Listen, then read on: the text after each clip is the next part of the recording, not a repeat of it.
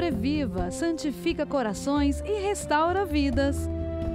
De 10 a 12 de outubro, venha participar do acampamento Quem Como Deus. Presença de Padre Roger Luiz, Padre Serginho, Diácono Fábio Camargos, Luzia Santiago, Salete Ferreira e Emanuel Estênio. Tua palavra, Senhor, tudo cura.